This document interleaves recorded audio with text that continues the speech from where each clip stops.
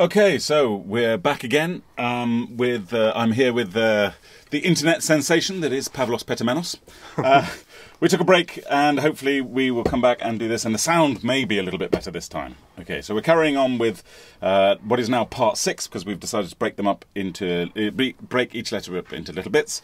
So we're now on part six of the introductory lecture for compiler optimization. Okay, uh, how do I get to the next page? There we go. Okay, so we've done uh, syntactic analysis in, uh, we got up to syntactic analysis in the last one, and now we're doing semantic analysis. So, Pavlos, do you know what semantic analysis is? Um, have no idea.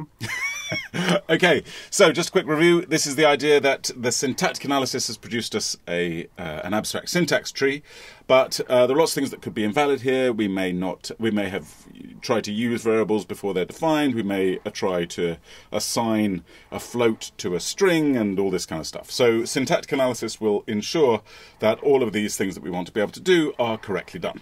Okay, and uh, essentially what it does is it goes through the AST and uh, checks that the meaning of the AST is correct uh, in terms of the requirements of the language, and it will decorate the AST with information that it finds. So as it determines what the type of a variable is, it will tag bits in the AST or in the symbol table at least uh, with what the values, what the information that it's got uh, is are. Mm.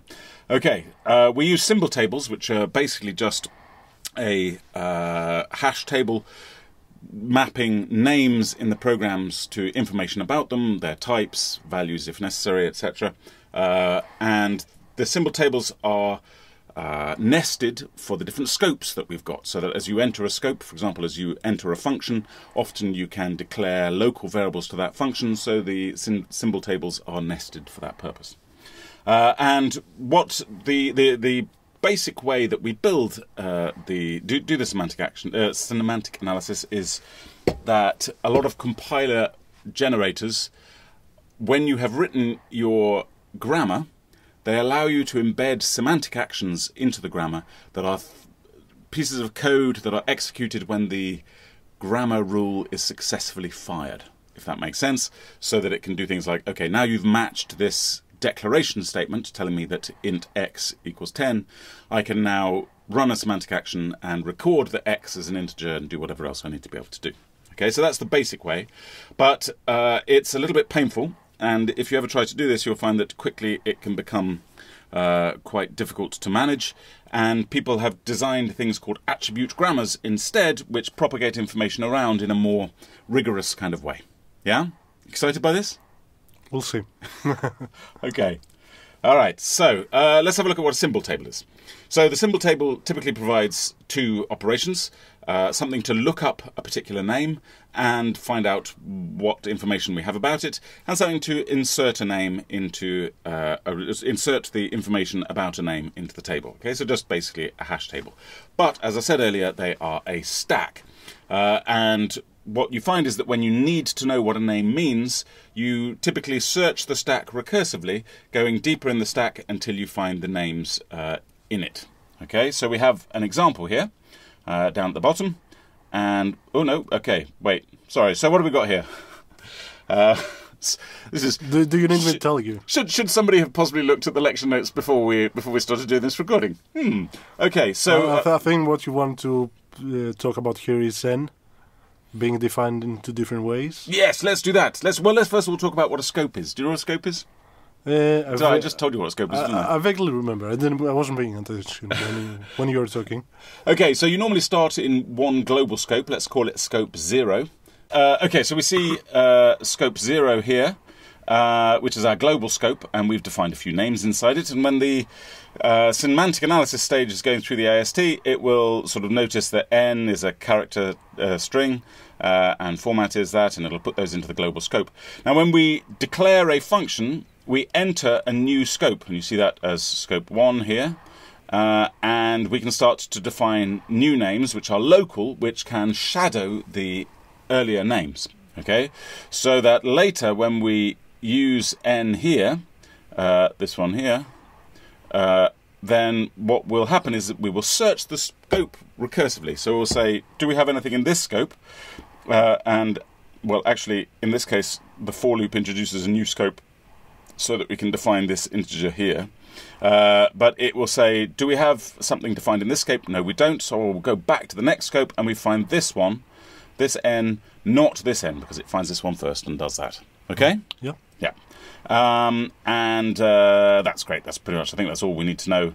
For oh, when when we get i, it goes it finds it in this scope in its own scope, so that's fine. So these curly braces also introduce a new scope, so you can have local variables inside here. So basically, in C or Java or something like that, whenever you see a curly brace, it introduces a new scope. But uh, as noted here with the uh, for loop, you have other sort of weird little scopes that the language introduces whilst it's declaring other things. Okay? Mm-hmm. Super happy. Great. Okay, so um, semantic actions, what are they? So, as I said, these are little bits of code that we tag into the grammar that are executed when we match a production in the grammar. So, down at the bottom, you can see here we've got uh, a declaration rule. Uh, which has one production, var id equals expression in some language that I just made up. And uh, in this point, we want to record that ID has been used. So the symbol table will insert this name, possibly plus some other information, into the uh, this this code here, this semantic action. When that is matched, will fire that rule, and the symbol table will be updated with the variable that we've got. Right? Kind of good. Mm-hmm. Okay. Um, but it uh, and then when we come to use those, we, we can have other semantic actions which check other things. For example, here, when we in an expression, when we use an ID, we want to be able to check that that name has been defined somewhere, so we can assert that the thing exists in the symbol table. Yeah. Mm-hmm. Okay. Nice and easy. Uh, you also find that there are semantic actions which do other things. For example, I think ANTLR has conditional semantic actions which allow you to actually derive which rules are appropriate. You have semantic actions which are executed not on uh, successful checking, but in order to select which direction you can go down in the path and things like this. Yeah? Mm-hmm. Okay. Um, so the problem is that side effects can be a problem if we do the if we match this rule successfully, but then go further down and discover that we have to backtrack but past this bit, then we've just inserted something into the symbol table and we have to remember to take it off when we come back up, right? So these side effects that we get in semantic actions can be rather uh, tricky and rather irritating to reason about um, and cause the maintenance of your grammar to be um, rather more complicated than it should be.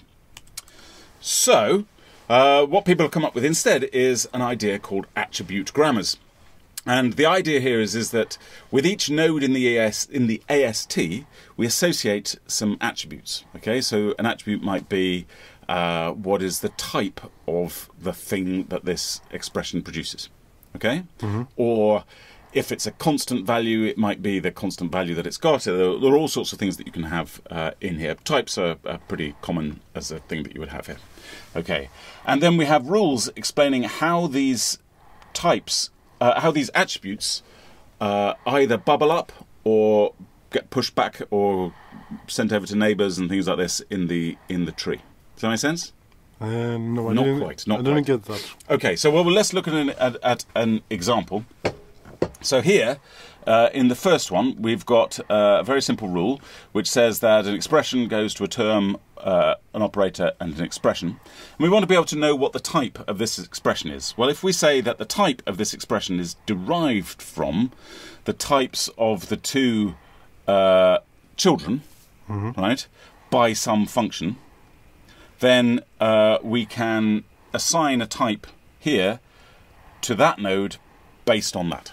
Does that make sense? Yeah. Yeah? Okay. So uh, this, I think, is called a synthesized one where it comes up from the children, uh, as opposed to inherited where it comes down from the parents. Um, and similarly, here we have, uh, for term, we have a similar thing where the type of the term is basically the type of its direct child.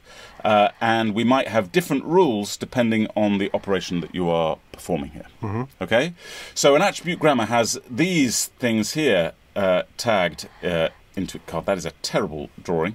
Um, that's not what I meant to do at all. But you see, you see the bit that I'm talking about uh, has those rules associated with it, and then something else comes along for you and manages the uh, flow of these attributes and their information around the tree. Mm-hmm. Okay, which makes life a lot easier to reason about and to work out what's going on. Okay. Uh, so we might find, for example, that they, that the function we've got for the types uh, let's see. Here's a here's we've got a function up here which is uh, f op, uh, and we've in this case we're assuming that we've got different functions depending on the on the operator. But let's for the moment just say that they're always the same, just for for for ease. Okay.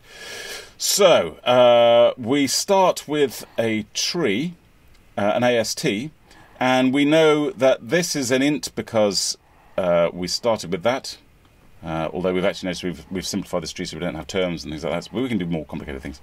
Um, and what we're going to say is that for a binary expression, the this function over here uh, tells you what the type of the expression is based on the on the children of the expression.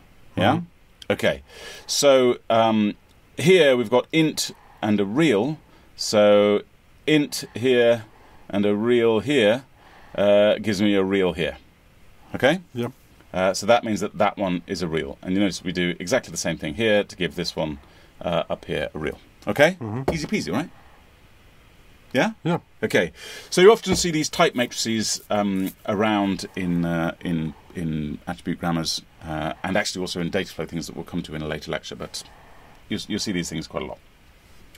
Um, and these matrices can encode error conditions for you. So supposing uh, this is a terrible example. This should be more like a string or something like that to make sure that you can't add things together. But supposing that uh, adding a real to a double uh, is an error, I have no idea why that would be an error, but supposing that were, then we could encode that in the table by saying there's nothing in there, and therefore if somebody tries to do that, tell them that they have messed up somehow. Yeah? Mhm. Okay. But maybe a string or a pointer would be better to, you know, you can't you can't add a a, a, a pointer to a string, a pointer to a to a, to a double, right? Can you in C? Oh no, probably not. But You have to cast it to an integer first. you? probably. Okay. So there we go. Does, does this all make sense? Yeah. Are you happy with this? Do you feel now fully comfortable with writing attribute grammars for the rest of the time? Um, I don't know. Good. I'm glad we got that decided. um, yeah, I understand the concept. I don't know exactly how do you write them. So right. Okay. So it depends on your grammar Yeah. uh, writing program. They they all have their own different formats for doing these things. so the typical the one used with this is what? GCC. I don't think GCC uses attribute grammars. I think Okay. it all, I think I think it all Hmm. uses hand baked, um, difficult stuff that uh, you just kind of assume that it works. Cool. I like this same. Do you? Yeah, yeah. Okay, I say that, but if there are any GCC people out there who are listening to this stuff, um, please forgive me because I, I've never really looked in huge detail at the front end, other than to realise that I probably don't want to look in huge detail at the front end. Okay, uh, also, this is the front end, so you don't need to know. It's fine, we can ignore this. Okay. Uh, so there we go. So that's uh, that's this lecture. We're breaking them up into very small bits. So um, not this lecture, this part of the lecture, and we'll see you in a bit for the next one.